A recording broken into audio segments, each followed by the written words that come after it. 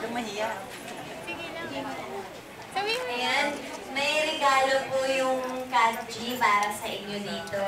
Ano ito, Ate Mel? Nectar and Wow. moisturizer for the food of the Dolas and Dolas. Ay.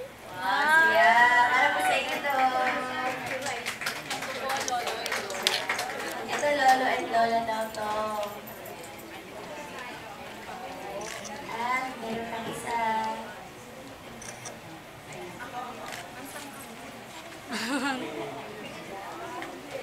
Niya sa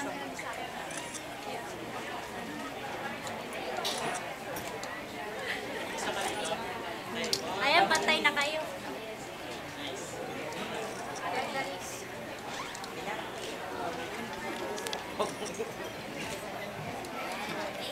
Sabihan natin. At meron pang, ano, ano to?